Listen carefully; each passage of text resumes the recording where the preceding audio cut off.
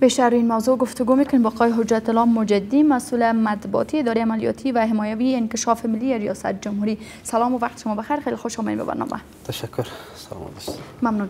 مجدی در نخست روی امین 230 پروژه بازسازی و نوسازی ساختمان ها ما می‌خوایم از شما بپرسم که عمده ترین علت که این پروژه ها از طریق اداره عملیاتی ریاست جمهوری قرار است کمال شود در چی هست؟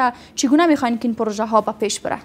بسم الله الرحمن الرحیم عرض سلام دارم خدمت شما و بیننده های تلونیوز دقیقا در گذشته هم روی از این موضوع بحث شده همونطور که همه هموطنان ما می‌دانند اکثرا کارهای باسازی در کشور چنانچه مردم توقع داشتن و نیازمندی وجود داشت انجام نمی‌شد. ما اگر مثال بتیم قصر دارلمان و قصرهای دیگه که در وقت در افغانستان وجود داشت در کابل در ولایت قصر دارلمان چندین بار اقدام شد برای بازسازیش در حکومت های قبلی و در حکومت فیلی مگر این کار تکمیل نشد؟ قصر به مو شکل مخروبه باقی ماند.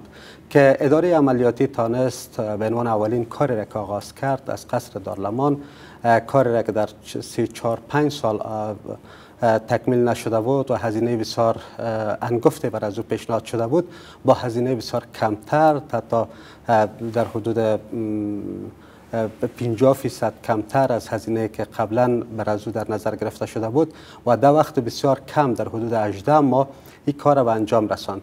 به این شکل نیازمندی های دیگری هم در وجود داشت.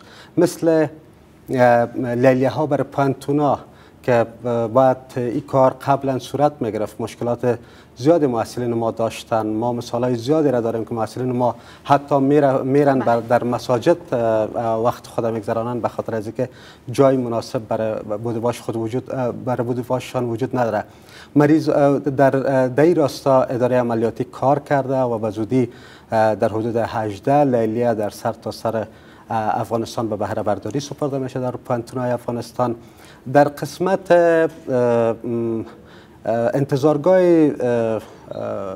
مریضداران همه ما شاهد از این بودیم که برای یکی از شفاخانه مراجعه می‌کردیم.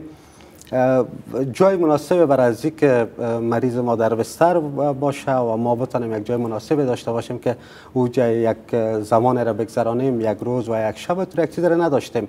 مگر اداره عملیاتی برنامه را روی دست گرفته در بیشتر شفاخانه های ولایتی و مرکز انتظارگاه های زنانه و مردانه را جور کرده. به می شکل در ولایات ما در قسمت اجتماعات مشکل داشتیم مراکز سالن فاتح خانی در بسیاری از ولایات این کار زیر یعنی ناتهای دیگری که مسئولیتشان این ساختمان ها بوده نوسازی و بازسازی بوده اینا کوتاه آمدن و اکنون سپرده شده به اداره شما که شما بتونین با هزینه کمتر با کیفیت بلند بسازین این ساختمان ها را درست؟ گرچه میشه را خود نهادها و ادارات پاسخ بتن مگر اداره عملیاتی توانایی را داشته و اعتماد که از طرف رئیس جمهور بالای از اداره صورت گرفته و شفافیت و سرعتی که در کار از اداره وجود داره رئیس جمهور امی پروژه را برای اداره اما نادهایی هم وجود دارن که گفته میشه که صلاحیت زیادتر اینا ندارن. یا که دسترسی زیادتر بر ریاست جمهوری ندارن تا اینا بتان پروژه هایی را که دارن به گونه درستش و بودجهش در زمان معینش دریافت کنن و پیش برن. ای که شما نزدیکتر هستین در ریاست جمهوری هستین می‌تونین کارها را خیلی خوب پیش ببرین. گفتن شما چی هست؟ ببینین ما قصر دارلمان باز هم مثال میتیم این موردی بود که بودجه هم برش وجود داشت و همه امکانات هم وجود داشت مگر این کار انجام نگرفت. به می شکل کارهای دیگری که میتونستمی انتظارگاه ها را وزارت صحت آمد در اداره در شفاخانه اعمار می‌کرد. می‌تونست امی لیلیه ها را وزارت تحصیلات عالی اعمار می‌کرد. مگر اینکه چرا نکرد؟ او می‌تونن خود از او پاسخ بتن مگر اداره عملیاتی این کارا را با وجه بسیار خوب و با کیفیت بسیار عالی انجام داده و کارهای دیگری هم اگر مثل ما مثال دیگری داریم. سمنت غوری بسیار وقت در انحصار سکتور خصوصی بود. کیفیت بسیار پایین داشت و تولیدش هم از روزانه از 120 و 130 تن بیشتر نمی‌شد. مگر در مدت بسیار کمی که به اداره عملیاتی تعلق گرفته به 600 تن تولید از رسیده. و کیفیتشان بسیار خوب شده. و ایره ما در نظر داریم که به 12 هزار تن روزانه تولید از را برسانیم که بیشترین نیازمندی ما را از نهاز از سمنت مرفوع کنه. و تصدی با ساختمانی بنایی است که به یک اداره و به یک تصدی غیر فعال مبادل شده بود.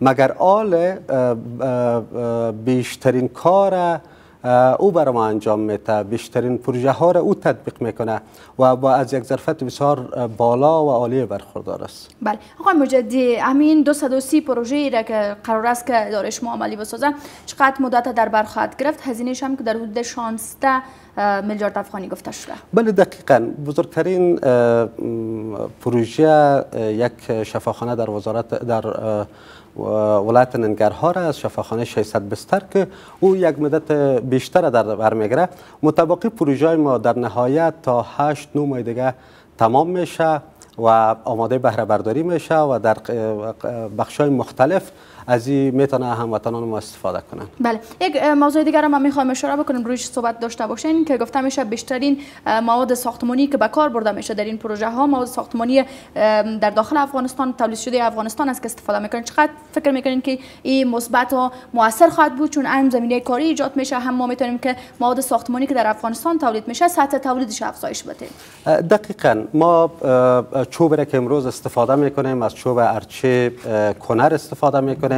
که در گذشته به قیمت بسیار نازل و بیرون صادر می شد مگر ما به قیمت مناسب ایره در ساختمان های خود استفاده می کنیم از سنگ چشت استفاده می کنیم که ای قبلا بیشتر مورد استفاده نداشته و اگر به بیرون هم صادر می شد شاید به قیمت بسیار نازل صادر می شد این موارد است که در قسمت سمنت ما گفتیم اگر. فابریکه ما با او حد نهایی تولید خود می‌رسه ای بالای بله، تولید سمنت در افغانستان بله. بسیار زیاد تاثیر داره. تشکر. سپاس از اینکه با رفتن. خیلی سپاس از شما.